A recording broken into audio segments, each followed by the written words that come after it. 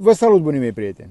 Vă salut de aici, de pe aerodrom. Am terminat acum câteva minute zborurile pentru ziua de astăzi. Astăzi este 13 octombrie 2024 și fac acest filmuleț pentru că exact peste o săptămână, cam la aceeași oră, Eh, duminica viitoare, 20 octombrie, deja la ora, actuală, eh, la ora actuală lumea va sta cu sufletul la gură să aștepte rezultatele referendumului și al alegerilor.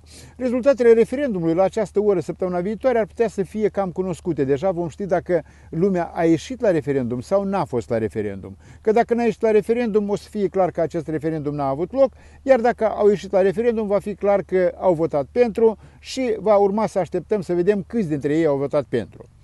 Ehm, de ce vă spun lucrul ăsta? Pentru că eu și Daniela Bodrug, în ieșirile noastre publice, am chemat de teoria actuală a guvernare să renunțe la această aventură care este referendumul. E clar că deja e târziu, nu mai pot spera că în zilele care au rămas ei ar putea renunța, deși încă ar putea să renunțe la această aventură. Ehm, noi, marți, împreună cu Daniela Bodrug, o să dezghiocăm punct pe punct ce au făcut acești oameni împotriva, referendum, împotriva Republicii Moldova cu acest referendum. Mie mi-ar plăcea să cred că moldovenii nu vor ieși ca și noi la acest referendum. Dacă nu vor ieși la acest referendum, moldovenii vor demonstra că sunt oameni curajoși. Sunt oameni curajoși că vor să devină parteneri cu prietenii noștri europeni. Eu am pașaport român, eu sunt cetățean a Uniunii Europene, eu, eu ar putea să spună cineva că sunt cu sacii în car deja, așa românește vorbind. Eu însă în același timp aș fi vrut ca ă, țara asta, statul ăsta care i-ar ședea bine împreună sau într-un stat comun cu România să fie un stat demn al Uniunii Europene în care să luptăm pentru interesele noastre, să fim la masă ă, ă, la masă de negocieri pe toate problemele europene și ale noastre ca națiune, asta îmi doresc. Iar referendumul ăsta pe noi ne pune într-o postură extraordinar de proastă.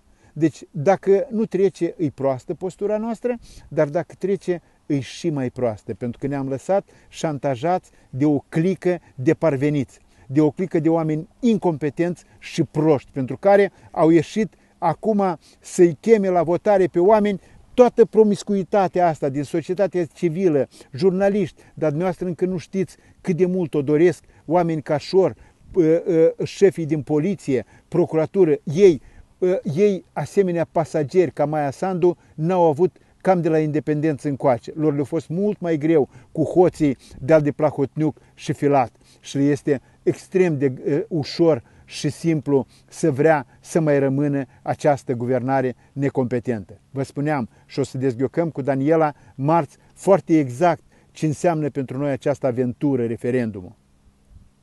Deci, dacă ieșim la referendum și acceptăm șantajul acestei clici, deci noi vom rămâne cu mâna întinsă întotdeauna. Europa e frumoasă cu oameni egali, cu, oameni, cu parteneri, cu oameni care știu să lupte pentru economia lor, pentru fericirea lor, pentru viața lor.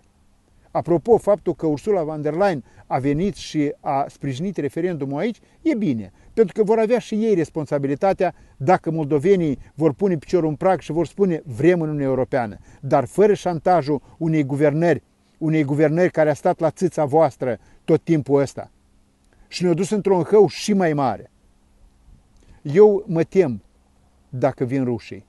Mă tem, dar nu mă tem să fug de ei, ci mă tem că voi trebui să lupt împotriva lor. Slavă Domnului, nu vor mai veni.